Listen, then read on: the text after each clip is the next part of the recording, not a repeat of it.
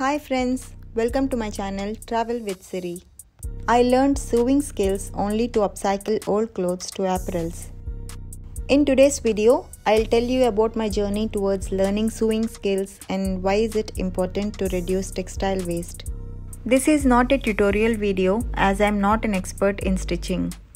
I am still in that learning phase and developing my sewing skills to work more on textile wastes. It is not an easy job to upcycle. I faced many ups and downs in the process of learning to stitch and made many mistakes.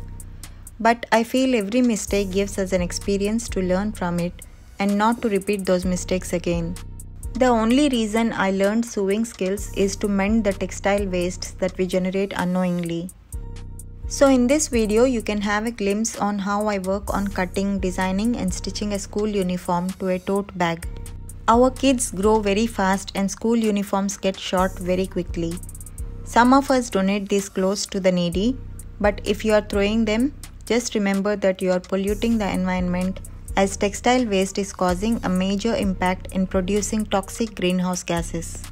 I feel it is important to upcycle the textiles or any wastes before recycling. It is crucial to understand and get educated on the importance of the wastes we generate on daily basis. Do you know that majority of the textiles produced are dumped into the landfills due to the fast fashion culture? These days there are many shopping malls every corner offering us wide range of clothes attracting us to purchase more. Fashion changes very quickly, and to keep up with the trend, we keep on purchasing clothes only to find our closets overfilled. And when it's time for spring cleaning, we all dump those outdated fabrics into the trash, and to our surprise, some of them are still with the tags on, which have never been used. Even I was unaware that textile waste causes pollution to the environment.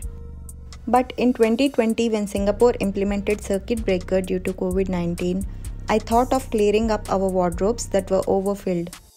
Previously, whenever I visited my home country, India, I used to bring all my old clothes to donate them to the needy. But due to COVID 19, as we were unable to travel to India, I found there were many clothes piled up and thought of approaching a nearby charity organization. Out of curiosity, I just researched if these clothes would be sent to the needy and found out that even those organizations receive tons of clothes, toys, electronic goods, etc., and they have to ultimately dump them into the landfills. It then added more to my curiosity, and slowly I learned about textile wastes and other wastes that we dump into the landfills that further decompose and produce toxic greenhouse gases.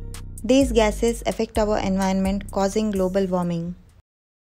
Textile industry itself is responsible for nearly 20% of water pollution and releases 10% of carbon emissions into the air.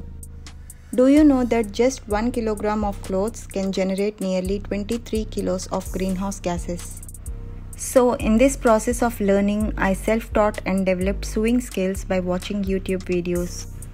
I have decided not to purchase clothes at least for another few years and I am prepared to reuse the clothes that are sitting in my wardrobe. I wish and hope that people recognize and understand the importance of fabric upcycling and adapt sustainable ways in their daily lives. If you wish to support my channel, please like my video and don't forget to subscribe my channel and activate the bell in order to get notified.